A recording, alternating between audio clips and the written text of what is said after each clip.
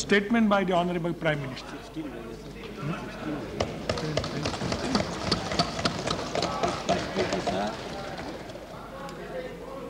The Delhi edition Silence.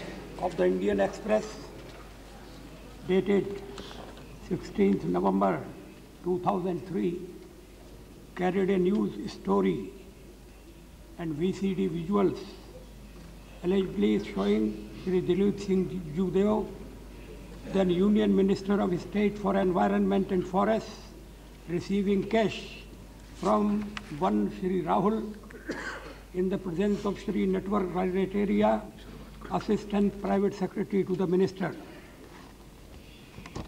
Shri Dilip Singh Judev submitted his resignation, which was accepted by the President on my recommendation on 17th November 2003. On my direction, the Cabinet Secretariat forwarded on 17th November 2003 press clippings from various newspapers to the CBI for appropriate action. On the basis of the above Indian Express news story and other print and electronic media reports, the CBI registered a preliminary inquiry on 18th November 2003 against Shri Ju- Judev, his APS, Shri Natwar Rateria, and Shri Rahul, purportedly a representative of an Australian mining company.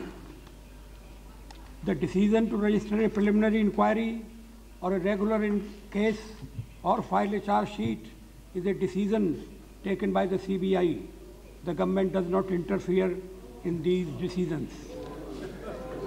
The CBI has also sent notices to both Shri Judev and Shri Rateria re- requiring them to appear before the CBI.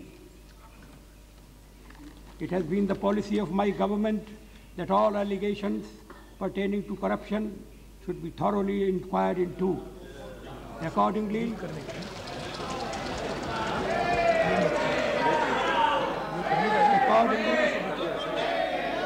the CBI is inquiring into this whole matter and it would be premature to state anything till the inquiry is complete. As honorable members are aware, the CBI has full functional autonomy and under the recently enacted Central Vigilance Commission Act, the superintendence of the CBI in relation to offences under the Prevention of Corruption Act has been vested by the government in the Central Vigilance Commission. There should therefore be no fear or misgiving regarding the independence of this inquiry. I would like to assure this august House that the truth will soon be out and the law will take its own course. Thank you.